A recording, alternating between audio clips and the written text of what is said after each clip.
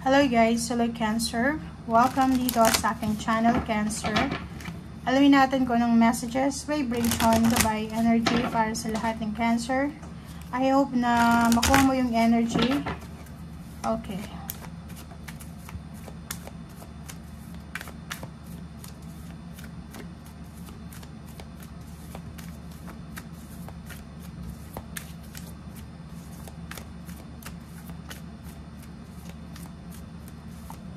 Okay, Cancer.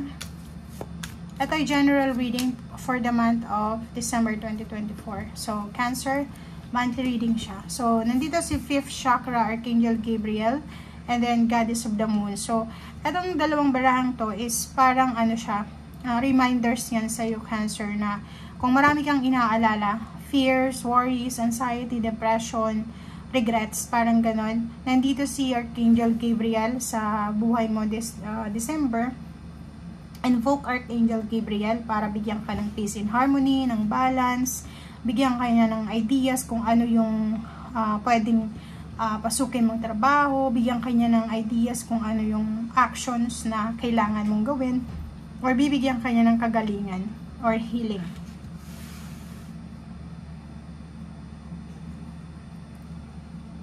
Okay.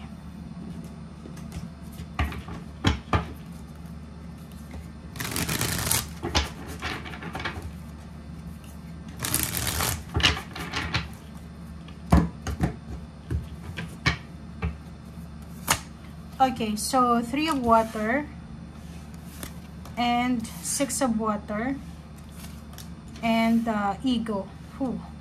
Okay, Cancer. So, nakikita ko siya dito na uh, meron ka na posibleng mababalitaan na good news from someone na kilala mo, sa either family members, friends, uh, acquaintance, kapitbahay, dating katrabaho, katrabaho, meron silang sineselebrate na success sa buhay nila. And dahil sa ego mo, ito yung lumabas ha, okay, wag niyong i-bash yung, uh, uh, yung nagbabasa. Kasi ito yung lumabas. So, number 6 is 15. Ego, kailangan mo ng balance. Okay? Uh, sinasabi sir dito ng barahan na siguro tungkol to sa pera, tungkol to sa relationship, pero uh, nakikita dito na sobrang visible yung materialism.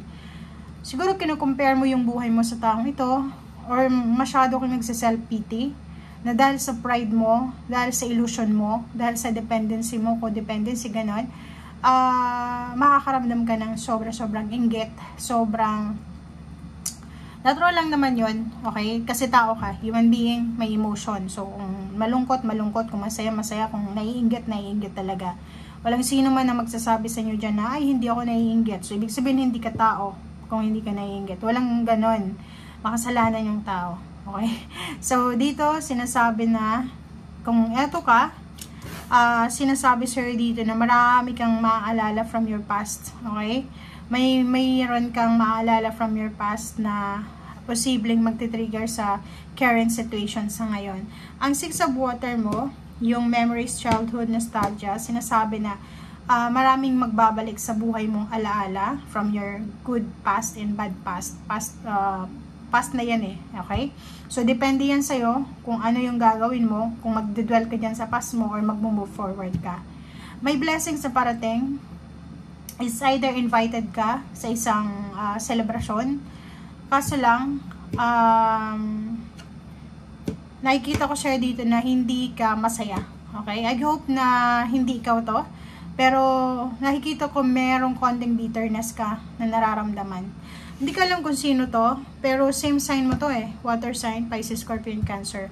Ito din, uh, na posible or pwedeng fire sign you are Sagittarius or Virgo, Capricorn, and Taurus. Yung nararamdaman mo na medyo naiinggit ka or medyo hindi ka masaya sa success nila.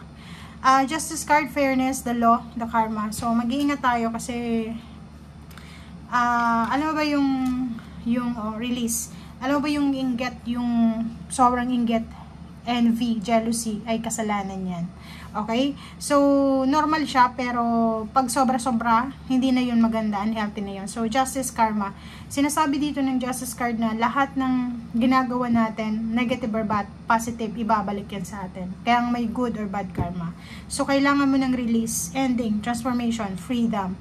Kung may, uh, kung, uh, kung mag-aanohin mo yung sarili mo, eh, um, tawag dito, uh, discover, hindi discover eh. Um, alamin mo sa sarili mo kung ano yung totoo mong emosyon. Mag-isa ka lang, 'di ba? Yung parang walang denial diyan. Hindi mo i-deny yung mga bad habits mo or yung good habits mo. Yung parang mag-isa ka lang, tanungin mo yung sarili mo, bakit ko nararamdaman itong inggit na to? Bakit ko nararamdaman ang sayang ito? Okay? So, may meron ka na negative sa iyong puso. Grudges, resentment, inggit, selos na kailangan mo nang tapusin, kailangan mo nang baguhin yan para makalaya ka na. Kasi the more na ganyan yung pakaramdam mo, the more na ipupush ka niyang maging masama. Okay? So, sinasabi sir dito na um, gawin mong inspiration yung mga taong kinaiinitan mo. Gawin mong inspiration yung mga taong uh, nagtatagumpay. Kasi pag positive yung mindset mo dyan, ibe-bless ka din ng Panginoon ng tulad ng taong yan. Pero pag negative, lalo naiingit tayo, negative yun eh. Pag negative, hindi na yan nagre-result ng positive. Okay? So, Eight of Wands, and then, Queen of, di ba, Freedom. So, sinasabi dyan sa'yo na makinig ka sa sinasabi ng iyong intuition, Cancer, makinig, makinig, makinig. Ah, uh, itong reading na to is parang reminders to sa'yo na makinig ka sa sinasabi ng puso mo, and then uh, freedom. Kailangan mong makaalis. So, dalawa yung baraha dito na nagsasabi ng freedom. It's either release from toxic relationship, pwedeng may mag, uh, makikipaghiwalay, or pwedeng release from negative thoughts, negative emotion, negative or unhealthy habits, uh, kontrata, or anything, or work or career. So, dito sinasabi na kailangan mo na talagang makaalis dyan sa situation na yan. Okay? So, yun. Queen of uh, Swords, ay kita ko siya dito na yung iba din sa inyo, nakafocus kayo sa pera. Material. So yun, di ba? Oh? Uh, sobrang dependent yung iba sa inyo sa pera. Aminin mo yan sa hindi, pero nakikita natin, napaka-importante sa iyo yung pera. Uh, yun yung focus mo ngayong December. So nakikita ko sir dito, gusto mong makahawak ng pera. Gusto mong makapasok sa isang trabaho na minimiti mo. Uh, gusto mong makapag-ipon, isang lump sum of money, gusto mong mahawakan. Okay.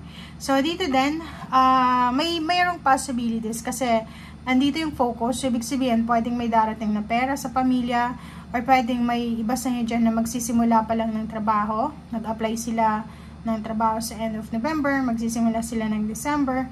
Or pwedeng yung iba sa inyo dyan is uh, uh, mag, mag, uh, parang uh, lilipat sila ng location residence kasi posibleng nakahanap sila ng trabaho sa mas malayong lugar o mas malapit na lugar merong celebration, family celebration na pwedeng ikaw yung host or ikaw yung imbitado.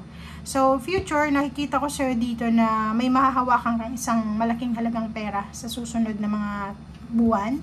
And uh, sa ngayon, sinasabi ng baraha, may kailangan ka munang tapusin. Okay? Para daw dumating itong perang ito, so parang may merong mayroong umaaligid sa iyo na biyaya, may blessing sa iyo na umaaligid kasi lang hindi siya makapasok-pasok sa buhay mo gawa ng may mga blockages, may mga hadlang. Ang hadlang dito is yung yun nga, itong mga negative na to, uh, materialism, codependency, or kung ano pa man.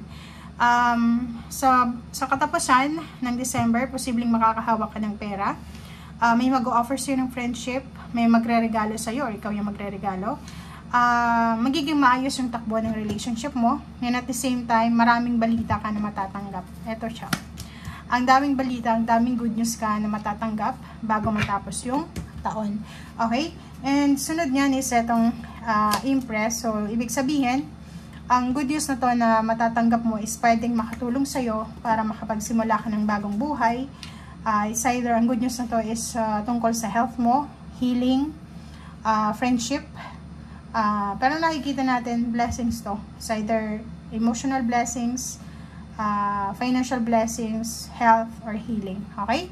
So, thank you guys for watching and I hope na nakaresonate ka. Uh, by the way, uh, nakalimutan ko yung fifth chakra kasi number 5 siya. Ito si Archangel Gabriel is uh, present siya sa buhay mo ngayon habang nanonood ka. So, pero sa whole month ng December, pwede mo siyang i-invoke. Okay, mabilis lang mag-invoke ng angels, guys. Tawagin mo lang in, in terms of invocation. Pag halimbawa balisa ka, hindi ka makapag-desisyon, maraming negative emotion ka, negative thoughts na, na nararamdaman, tawagin mo lang Archangel Gabriel, Archangel, Archangel Gabriel, Archangel Gabriel, sorry. Three times lang na tawag, and then yun, pumikit ka lang, and then papasukin mo yung energy niya sa katawan mo. Then yun, quiet time, doon papasok siya. So, dapat pag nag-invoke ka, doon sa tahimik, tahimik na lugar, yung walang magsisigaw ng mga bata or walang makaka-istorbo sa'yo kasi ano yan eh, energy yan eh. Okay, so thank you guys for watching. Bye!